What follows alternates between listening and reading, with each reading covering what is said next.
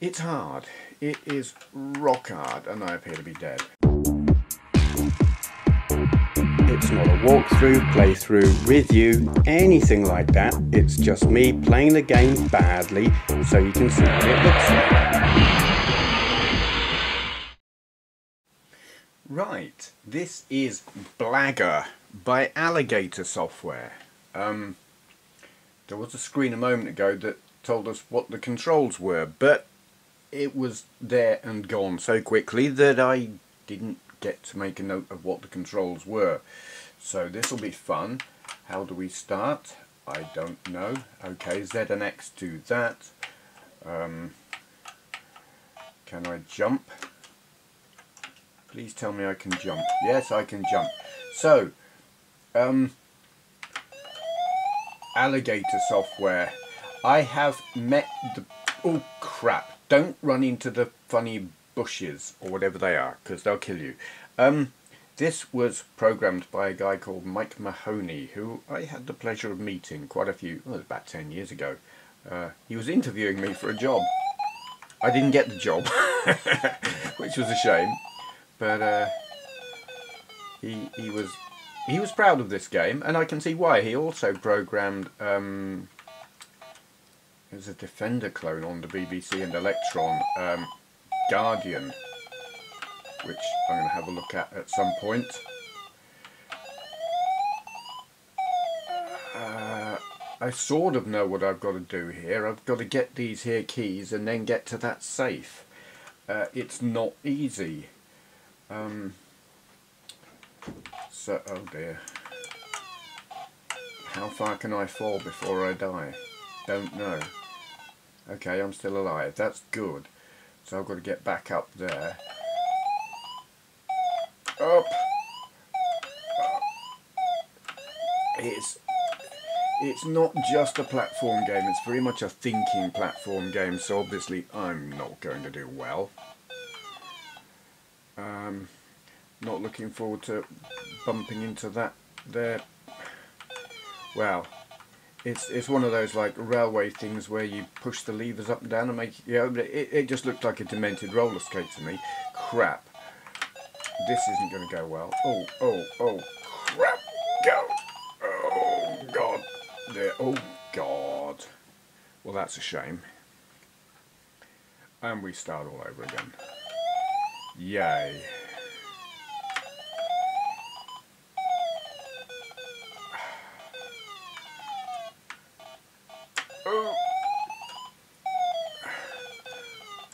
What the hell is with the, the D's up here? What happens there? That's kind of nightmarish.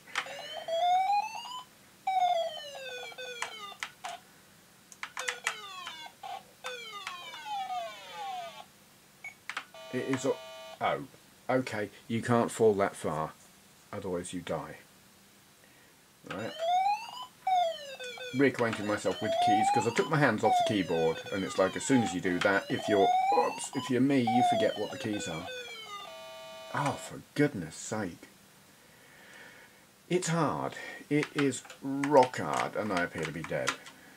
We'll start again. Please don't die.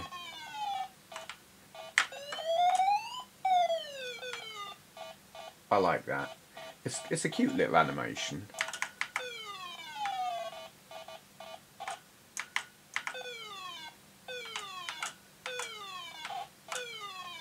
Don't die. He died. Ass.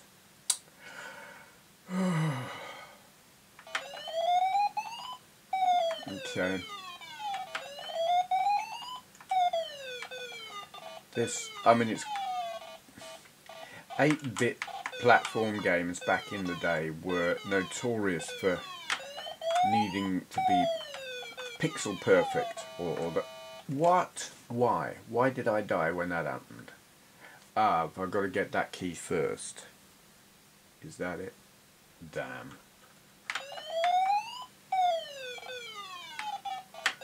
Oops. Oh god I thought I was going to die then. Oh oh come on. Sometimes I think it's a bit unfair if I'm honest. You appear to die for no obvious reason.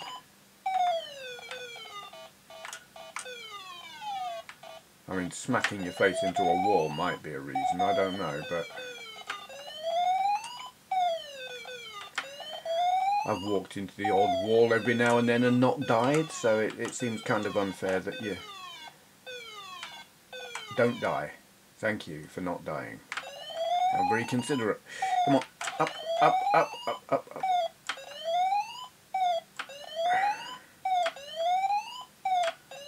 And off we go. So...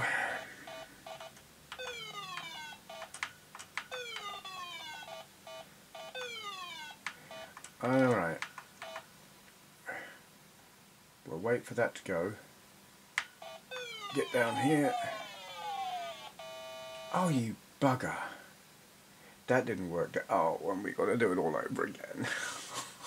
Oh, we'll have another go. It is compelling. It's, it's rock hard and very much gonna be, oh, a memory test. Now I'm gonna die, aren't I? Yeah, I died. Bugger memory test. It's like remember every little bit that you did.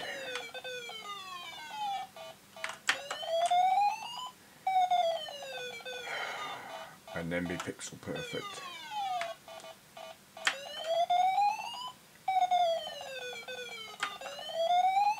Get that key. Fall down here.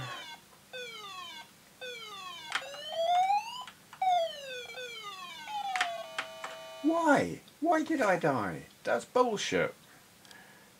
Mm. We'll have one more go. Then I'm calling it quits. Because I didn't want to do that. That was stupid. Now I'm going to fall in the bush and die. Oh,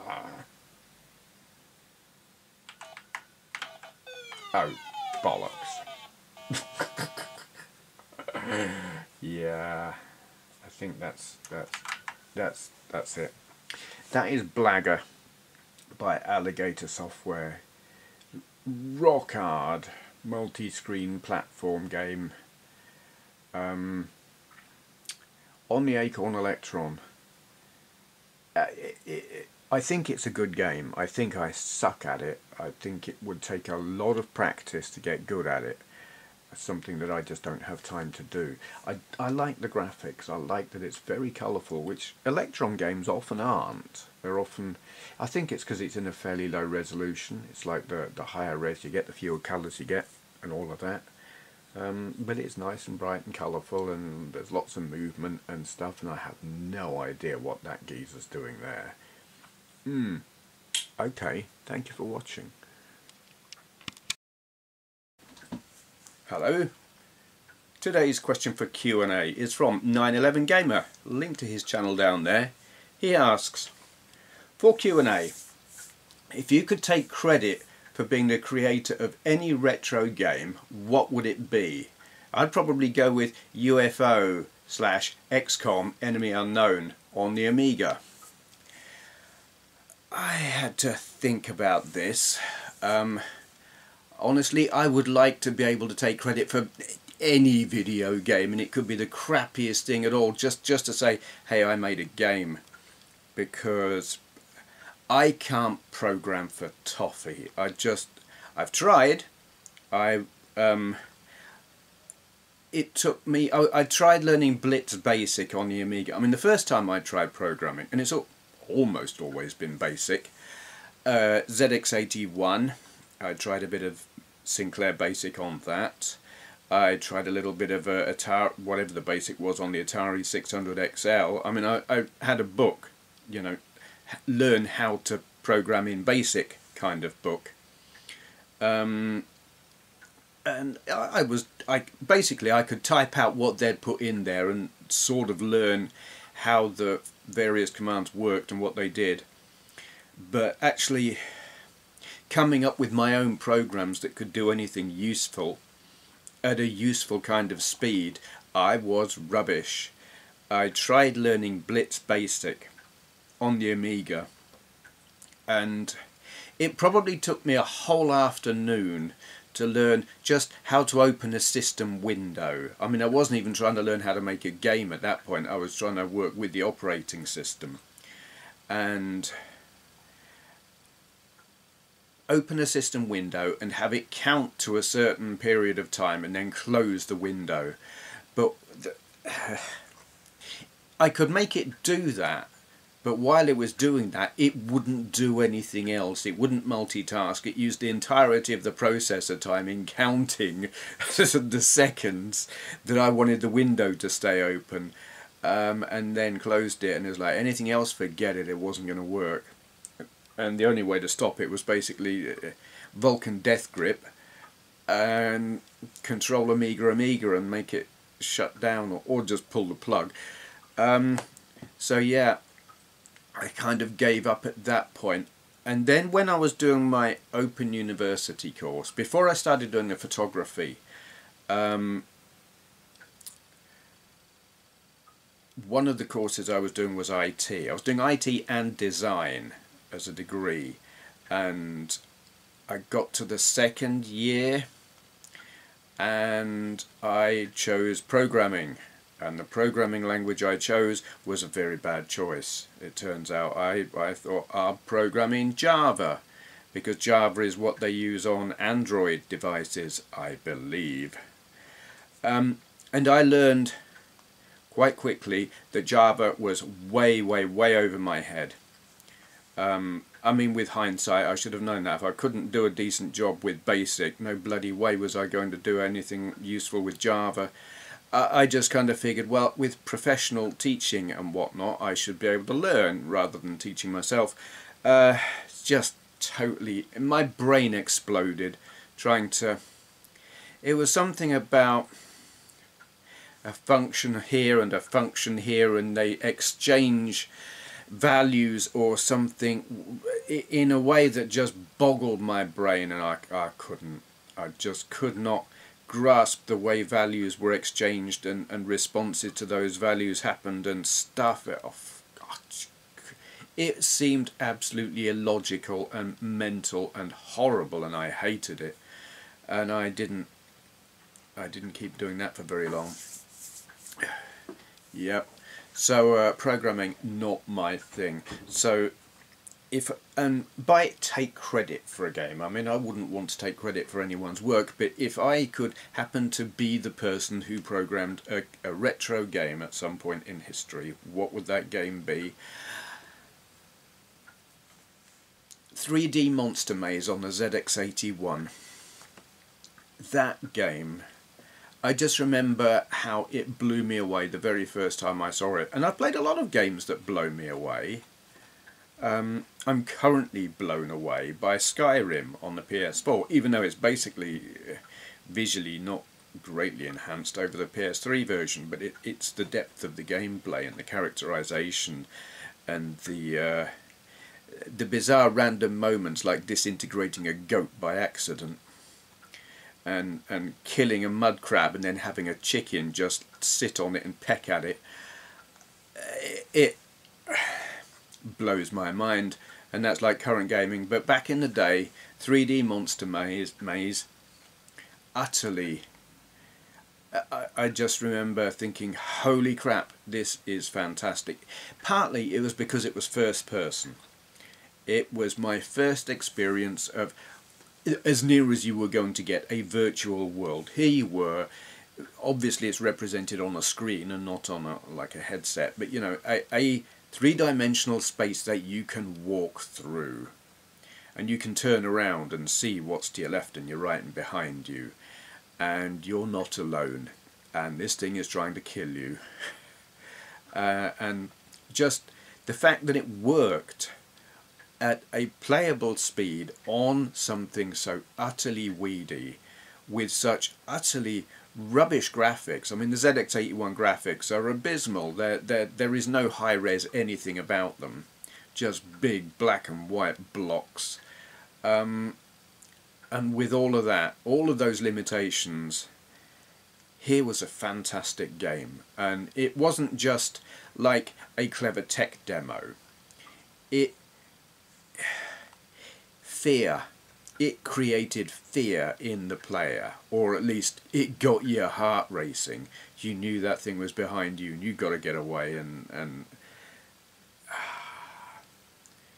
just the, the first time, I, it's probably the first game I've ever played on a home system that was like really got my heart pumping and and you know it gives you a sense of panic um, yeah if I could have made any game and and take credit for a game that one would be it there there've been obviously better technically more technically advanced games since then like yeah even back then there were surely more technically advanced games but that was the one that in terms of an impressive programming feat to make a really great game that still stands up well today. That game is still fun to play. Um, I wish I'd made that game.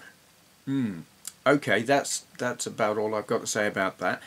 Anyone else who's got any questions they would like answering in a video like this, leave your question in the comments below and begin with for Q&A so I know not to just answer in the comments. And thank you for watching. So look, just subscribe to this Benway chap and we can all go home. I'll have a glass of claret and... Uh, oh, bollocks.